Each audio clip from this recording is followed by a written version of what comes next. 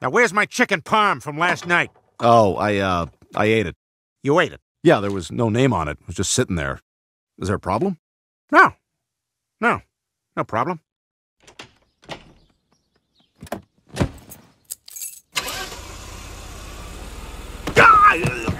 Peter, I'm home from the market. I got steak sandwiches on ciabatta. Oh, that's way better than chicken parm. I'm gonna have it with my last can of cream soda.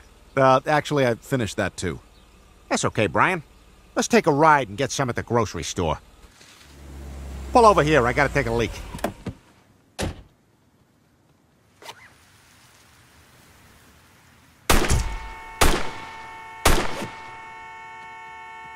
Leave the gun. Take the cream soda. Has anyone seen the rest of my white wine? Sorry, Lois, I drank that. Oh, that's fine, Brian. Hey, what do you say you and me go for a walk in the woods? You know what? This is kind of nice. I thought you were going to do some kind of Godfather murder on me. Oh, Brian, I don't watch mafia movies, but I did see Fargo. Huh? That's not all bad. I like having those Stella D'Oro breakfast cookies. Oh, I ate those. Sorry. Ah, no problem, Brian. No problem at all.